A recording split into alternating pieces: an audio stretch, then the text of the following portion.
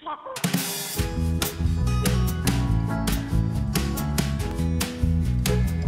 have just this week, we have an art reception for our current art show called Eviction, Destruction, and Renewal.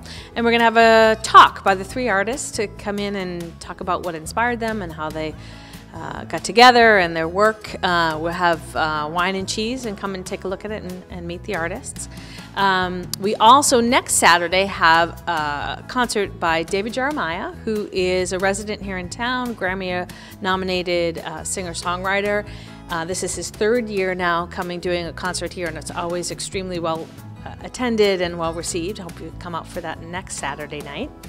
And then the first week in March, super busy. So many things happening um, between some new classes starting, and uh, we have a children's uh, entertainer coming in.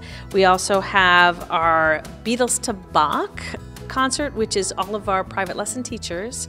Uh, they, uh, in, in, an effort to raise scholarship funds for any private lesson students, um, they have a concert where the teachers get up to perform. So um, that is always a, a wonderful concert to come to and a great cause to support.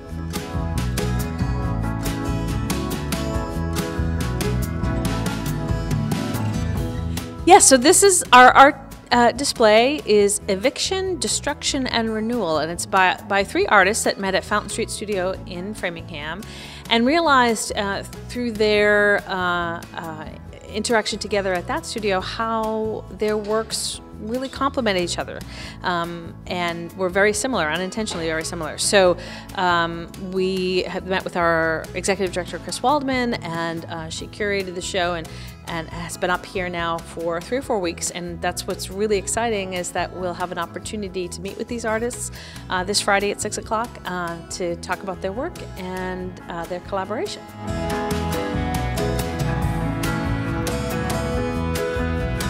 So, uh, brand new here to the HCA is our new dance program. So, it's been almost a year now that we've had the uh, great fortune to have Jessica Wilson be our director of dance.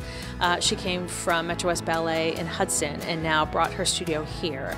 So, for those who don't know, we offer classes for all ages and abilities in, uh, in ballet, uh, in tap and jazz and, and hip hop as well, but uh, Jessica's background is uh, in ballet. So for those students who are looking for um, either you know some fun to get out on a recreational activity or for the more serious dancer, there's uh, incredible uh, classes here for young people all the way up to adults.